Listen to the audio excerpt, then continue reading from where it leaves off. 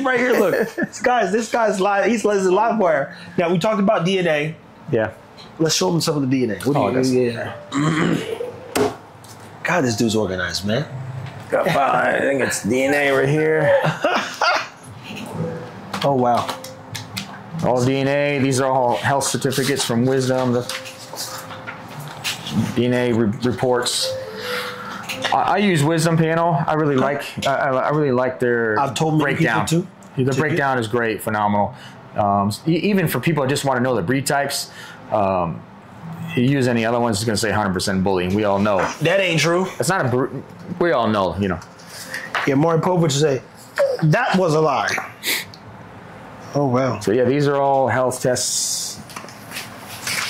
So when you're looking at the DNA to decide which dogs to breed to who, So these are here. These are all like health test stuff from Wisdom. These are all DNA tests.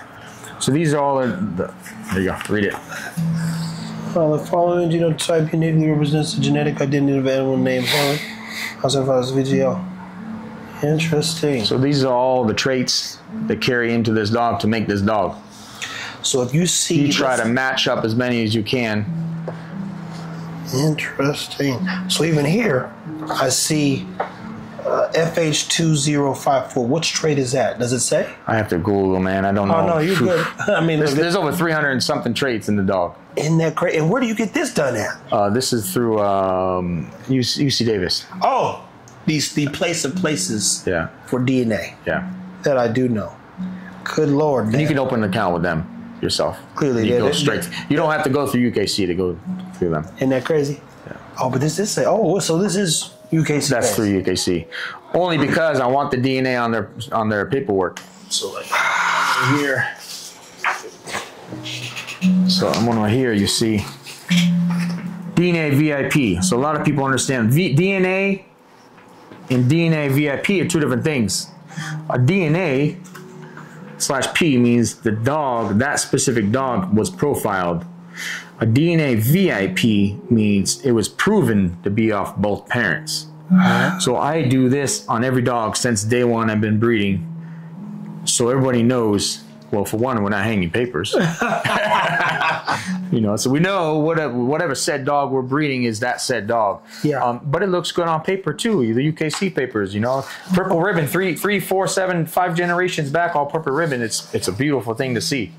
that is crazy. Samuel's Biz Nazareth. Oh wow.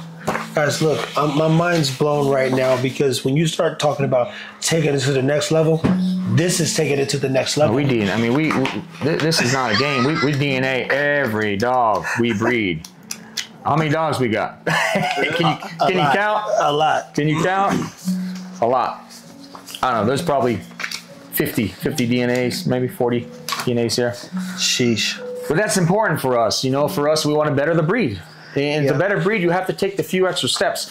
And it's sad that people will go out and buy a known stud out there, whatever it may be, for whatever 5,000, 10, 20,000, whatever the price may be.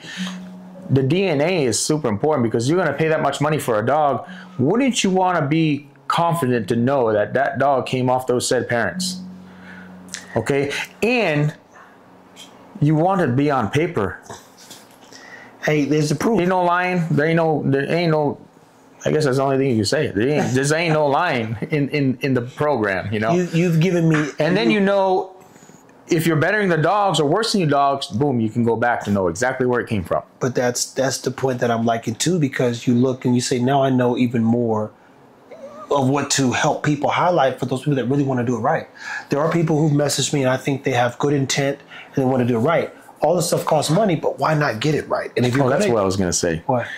These things, you know, people go buy stud fees for uh, some more money, but this only costs fifty dollars to DNA your dog. That's a So tell me this: Why is all these breeders of all the best bloodlines out there in the world not DNA in their dogs? People think about that real quick. Do your research.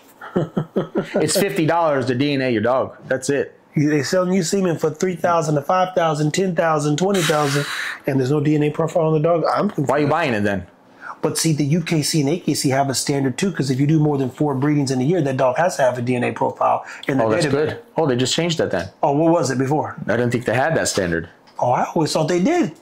Not that I know of. So here's been the challenge. The AKC back in the day would say, "Hey, listen, if a stud is used more than four times in a year's a year, we need a DNA profile. So if someone does say, "Hey, what's going on here?" they can match and see if that actually oh. was a dad. But that was See, I've always DNA, so I just I didn't know that rule.